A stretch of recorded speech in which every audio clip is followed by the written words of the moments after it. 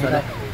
Gimana? Oke Bang Riza tadi sempat ada acara untuk apa tuh bela Palestina dan memberikan donasi sama dukungan buat Palestina sama Bang Bilar juga tadi saya lihat. Hmm. Tadi itu lebih kayak ke silaturahmi ya. Hmm. Karena Bang Onim itu adalah relawan di sana, udah belasan tahun di sana dan karena situasi di sana sekarang lagi mencekam, lagi eh, tidak aman dan setiap hari itu kan dibombardir kan.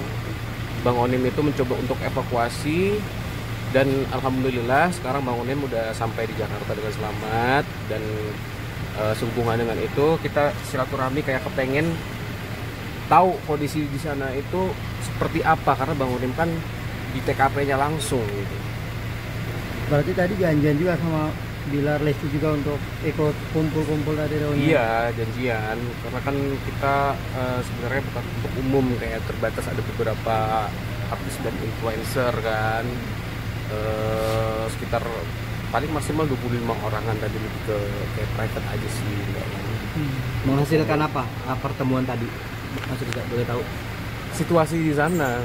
Jadi Bang Oni menceritakan situasi di sana itu ya memang apa yang kita lihat di sosial media, apa yang kita lihat video-video yang kejam, yang sadis, yang tidak manusiawi. Anak kecil, ibu-ibu, warga sipil yang nggak berdosa itu benar-benar dihabisi, digen- digenosida tanpa pandang bulu dan itu adalah suatu kejahatan internasional, itu adalah kejahatan perang, itu adalah suatu eh, kejahatan kemanusiaan yang tidak beradab. Bantuan seperti apa yang akan diberikan? Mungkin kan berdonasi atau gimana da- dari hasil pertemuan tadi? Sebenarnya kalau bantuan itu kita ya sebagai minimal minimal kita sebelum beragama kalau kita ngeliat Palestina itu adalah kita cukup punya rasa manusiawi dulu. Di mana kita ngeliat sesama manusia nih.